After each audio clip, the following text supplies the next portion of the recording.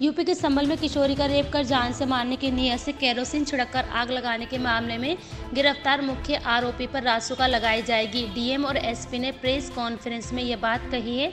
आपको बता दें कि रेप के बाद पीड़ित किशोरी को ज़िंदा जलाने का पूरा मामला यूपी के संभल ज़िले के नखासा थाना क्षेत्र के कस्बा सिरसी का है। जहाँ पड़ोस के युवक जिशान पर दुष्कर्म की वारदात को अंजाम देकर पीड़ित किशोरी पर केरोसिन छिड़ककर आग लगाने का आरोप है। आग में गंभीर रूप से झुलसी किशोरी को जिला अस्पताल से दिल्ली रेफर कर दिया गया है।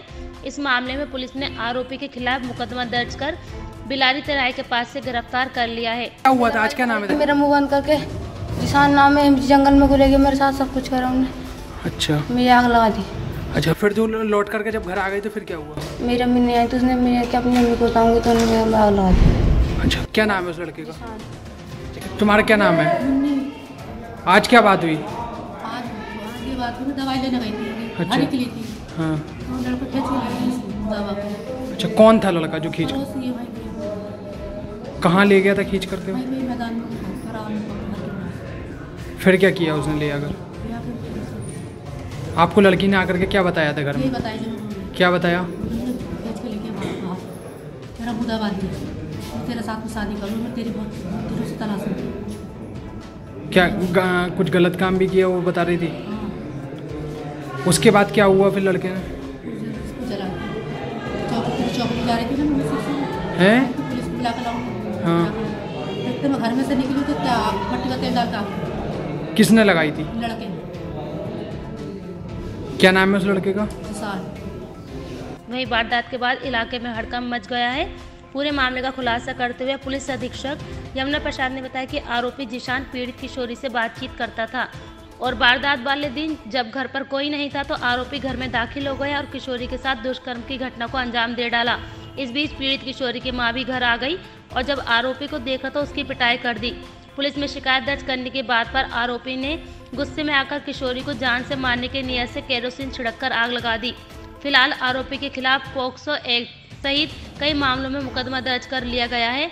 डीएम अविनाश किशन सिंह ने संयुक्त प्रेस कॉन्फ्रेंस में बताया कि जघन्य अपराध है और आरोपी के खिलाफ रासुका के तहत भी कार्यवाही अमल में लाई जाएगी। जनपद संभल के नखासा थाना क्षेत्र में गिन्नौरी कस्बा है। कल रात की एक घटना प्रकाश में आई थी जिसमें एक लड़की के जलने की बात आई थी और उसको मेडिकल एड उपलब्ध कराया गया था। तत्काल पुलिस पहुँच के वहाँ पे हॉस्पिटल पहुँची उसको मेडिकल एड दिया गया और उसको सफदरजंग हॉस्पिटल दिल्ली भेजा गया। है उसकी अधिक से अधिक चिकित्सीय सहायता के लिए। इसी क्रम में अ, जो अभियुक्त था जिसान उसकी गिरफ्तारी सुनिश्चित की गई है। रात में ही कई जगह दबिश दे करके कई टीमें लगाई गई थी जिसमें हमारी एडिशनल एसपी सीईओ और इंस्पेक्टर और तीन टीमें अलग से लगाई गई थी। इसकी गिरफ्तारी सुनिश्चित की गई है बिलारी तिराहा कस्बा सिरसी से। किन धाराओं में मुकदमा दर्ज? इसमें मुकदमा दर्ज किया गया है तत्काल और इसमें मुकदमा जो है तीन सौ छिहत्तर तीन सौ सात तीन सौ बयालीस तीन बटे चार पॉक्सो एक्ट में दर्ज किया गया है। इसमें गिरफ्तारी सुनिश्चित की गई है। और इनको आपस में जो इन एक ही जगह के रहने वाले पड़ोसी थे ये लड़की और लड़का। और उसमें इन्होंने प्रयास किया और उसके बाद जो भी इसका कार्रवाई है वहाँ पे इन लोगों ने, जो लड़का है, उसने वहाँ पे लड़की को रोका। लड़की के घर में गया, उसके बाद उसकी माँ आ गई। माँ ने जब देखा इनको आपस में तो माँ ने इनको, इसकी पिटाई की। इसके बाद इसने लड़की पे तेल डाला और उसके आग लगा दिया। इसी क्रम में इसकी गिरफ्तारी सुनिश्चित की गई है और इसको हम लोग फास्ट ट्रैक कोर्ट में भी ले जाएँगे और वहाँ पे अधिक से अधिक जो विधिक कार्रवाई, हमारी एनएसए की कार्रवाई है, उसको भी इसके खिलाफ किया जाएगा। ऐसे अपराधियों को जल्द से जल्द विधिक कार्रवाई के अनुसार इसको जेल भेजा जा रहा है। गिरफ्तारी देखिए बड़ा जघन्य अपराध की श्रेणी में आता है और प्रदेश सरकार महिलाओं के प्रति, बालिकाओं के प्रति जो भी अपराध है, उसको बहुत ही गंभीरता से लेती है। जनपद के थाना नखासा के कस्बा सिरसी में घटना हुई थी कल रात को। इसमें एक लड़की को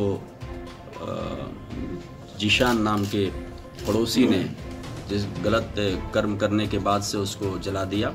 ये अत्यंत ही दुस्साहसिक और जघन्य अपराध की श्रेणी में आता है।